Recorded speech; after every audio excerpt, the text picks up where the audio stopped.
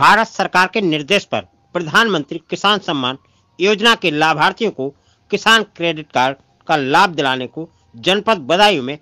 8 फरवरी से 23 फरवरी तक विशेष अभियान चलाया जाएगा जिसमें उन किसानों के क्रेडिट कार्ड सरलता से बनेंगे जो अभी तक क्रेडिट कार्ड से वंचित हैं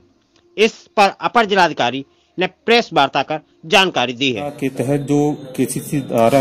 जो किसान है जिन्होंने लाभ लिया है उनके लिए जो है केसीसी बनने जा रहे हैं क्या योजना है और इसको कब कब लाभ मिलेगा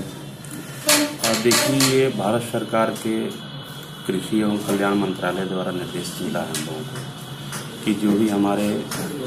प्रधानमंत्री किसान सम्मान निधि योजना के लाभार्थी हैं जो किसी भी प्रकार से अभी के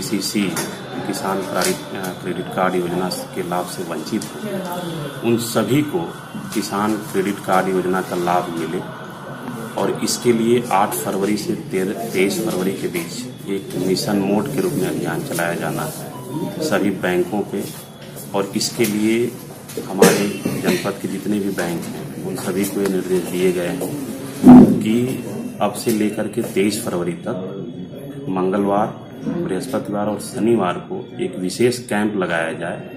ताकि वहाँ पे कोई भी व्यक्ति अपना आवेदन दे करके इसका लाभ उठा सके और इसके लिए व्यापक प्रचार प्रसार आप लोगों के माध्यम से ग्राम पंचायतों के माध्यम से और राजस्व डिपार्टमेंट कृषि डिपार्टमेंट सभी के माध्यम से इसका व्यापक प्रचार प्रसार कराए जाने के निर्देश दिए गए हैं ताकि अधिक से अधिक लोग इसको इस लाभ से जुड़े और इसका लाभ उठाए